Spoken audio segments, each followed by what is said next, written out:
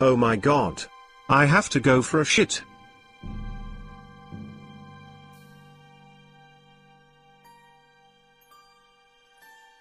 Holy fuck.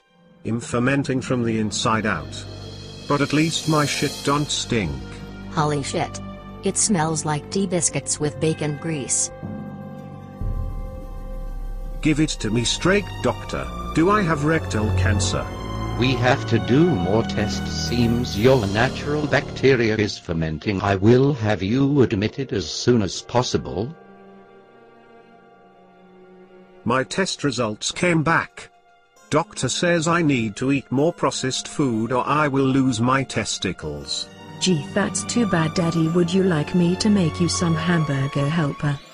How about tea biscuits with genetically modified bacon grease? I can't believe I'm about to eat ravioli from a can, and heated in the microwave. Hello, Daddy. This is my new boyfriend. He's going to buy the cottage.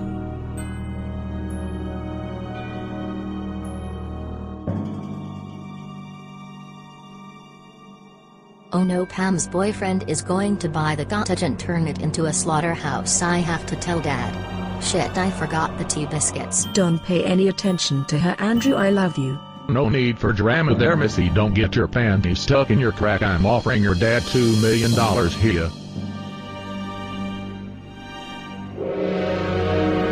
So before I killed him, I made him feel coffee or I then made him drink fermented nut from Peru. That's the sickest thing I've ever heard in my life. Who the fuck in their right mind It's fail? okay pet I know you did this to save my balls. And my testicles.